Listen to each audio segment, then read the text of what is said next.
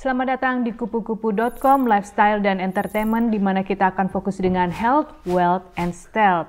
Hari ini rencananya kita akan fokus dengan wealth, dengan suasana dan keadaan yang lagi happening saat ini. Gimana sih caranya kita bisa nggak cuma survive menghadapi uh, cobaan ini, tapi juga bisa menjadi pemenang kalau bisa beruntung gitu ya nanti di ujung-ujung jalan. Nah, kalau kalian tertarik dan mau tahu apa saja yang kita lakukan, langsung aja yuk kita lihat.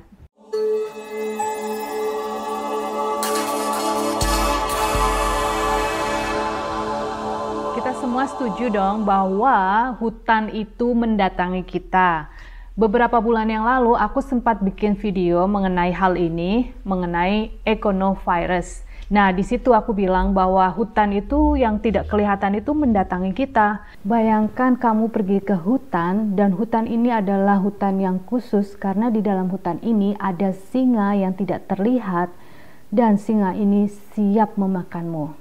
Nah, sedangkan kamu tidak bisa melihatnya, tidak bisa mencium baunya, dan kamu juga nggak tahu kapan dia akan menangkapmu dan membunuhmu, gitu ya. Di dalam hutan itu ada beberapa binatang, salah satunya the lion jungle. Itu sebenarnya cuma trigger aja ya yang untuk memulai masalah ini berdatangan. Nah, monster yang sebenarnya itu adalah global economic collapse. Nah, kayak central bank kayak gitu pada berjatuhan. Jadi efeknya akan berdampak ke seluruh orang globally di seluruh dunia dengan adanya economic global reset ini. Untuk mengklarifikasi bahwa pasanganku adalah Satoshi Nakamoto, maksudnya gimana? Jadi maksudnya gini, bahwa sebenarnya kita semua itu adalah Satoshi Nakamoto. Nah, kenapa begitu? Karena kita memiliki kontrol sepenuhnya terhadap kekayaan kita dan juga kita memiliki uh, otonom atau tersamar untuk menyimpan kekayaan kita. Saya yakin saat ini semua orang sudah mendengar tentang Bitcoin dan juga teknologi blockchain ini. Nah, ada alasannya kenapa banyak orang yang mulai mengenal dan mendengar berita ini. Hal itu karena salah satu manfaat utama dari teknologi blockchain ini bahwa dia tidak dapat diubah dan tidak mudah diretas sehingga teknologi ini membuatnya menjadi sangat berharga, tidak hanya sebagai aset AI tetapi juga sebagai mata uang. Meskipun ada banyak aplikasi dari teknologi ini untuk dibahas dalam video ini, aku sangat menyarankan untuk kalian meluangkan waktu untuk research Bitcoin dan juga blockchain teknologi dan juga artificial intelligence. Karena ini adalah masa depan. Dan jika kamu mau nih menjelajahi kemungkinan atau possibility hal ini mungkin bisa menjadi pintu gerbang kesuksesan kalian semua. Lalu mengenai nilai dari Bitcoin ini sama seperti halnya seberapa berharganya privacy buat kamu.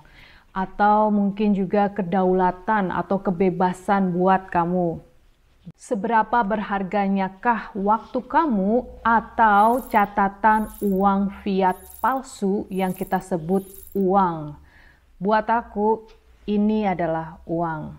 Nah, kita akan bahas selebihnya atau lebih lanjut mengenai ini di video selanjutnya, oke? Okay? Dengan memiliki cryptocurrency itu artinya kamu adalah bank sendiri tanpa membutuhkan pihak ketiga atau apa pun itu karena ini benar-benar tidak membutuhkan kepercayaan uh, lingkungan. Jadi benar-benar direct gitu ya, yeah. alias trustless environment, yang artinya nggak butuh kepercayaan transaksi itu sendiri adalah pembayarannya atau penyelesaiannya. Cryptocurrency kamu itu merupakan hard currency yang menurutku jauh lebih aman dan juga lebih gampang untuk dimiliki dibandingkan kalau kita memiliki emas gitu ya, emas batangan. Bitcoin adalah safe haven dan juga mata uang yang sangat kuat, lebih baik daripada gold tapi tidak ada satupun yang bisa ngambil dari kamu, baik itu dari pihak pemerintah ataupun orang-orang jahat atau siapa pun yang tujuannya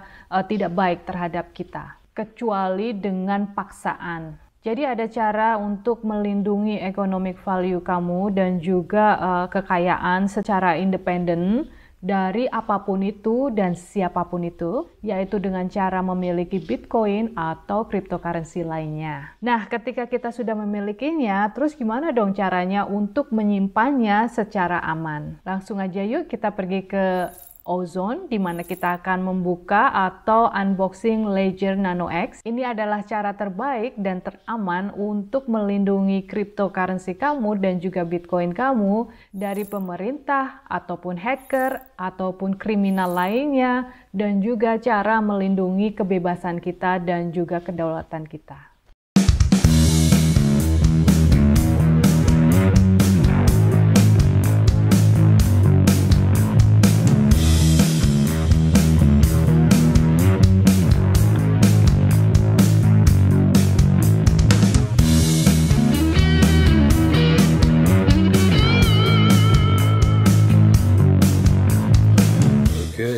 Today we're going to open the uh, Ledger Nano S.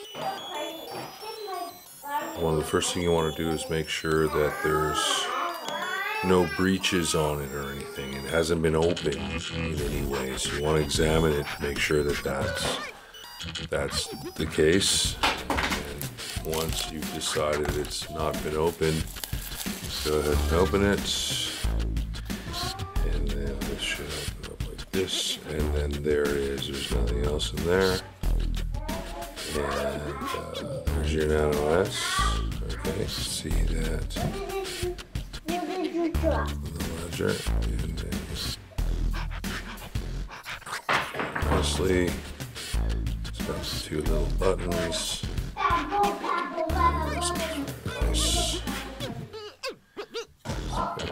Nice on it.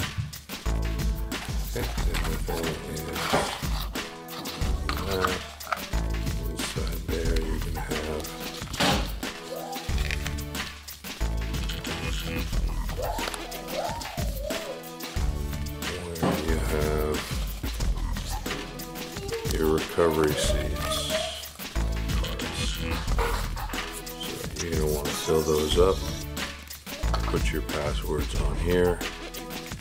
And you have like three copies of them in case you want to distribute them out somewhere. And then here you got a normal kind of cable. Plug that puppy in. Keychain to carry it around. I don't know how often you're going to be doing that another keychain for a thing, and one more if you want to wear it around your neck. I guess in a day of busy training, suppose uh, I always wondered how that clipped through. There you go. Aku senang banget bisa berbagi informasi ini dengan teman-teman semua, walaupun benar-benar cuma kayak di permukaan aja ya, nggak nggak terlalu dalam. Tapi emang tujuanku adalah kasih sedikit seed gitu kan. Di sini aku cuma ingin membantu kalian semua. Aku sarankan teman-teman untuk mulai mengeksplorasi dan melakukan uh, belajar lebih dalam lagi, lebih banyak lagi mengenai hal ini karena Bitcoin itu sendiri sudah banyak digunakan oleh jutaan orang ya di dunia dan juga membuat banyak atau jutaan orang menjadi kaya aku wajib mengumumkan bahwa aku bukanlah penasehat keuangan dan ini bukanlah nasihat keuangan. Harus diproses dengan hati-hati dan bertanggung jawab bisa di-share video kita ini dengan teman-teman atau orang-orang yang kita cintai dan juga jangan lupa like dan juga subscribe kita karena dengan begitu akan sangat membantu uh, channel kita untuk berkembang.